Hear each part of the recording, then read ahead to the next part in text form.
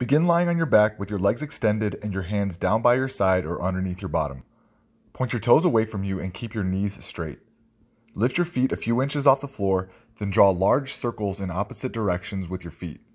Move them down and away from the midline of the body first. Repeat for the given amount of time or repetitions. Maintain controlled breathing throughout the exercise.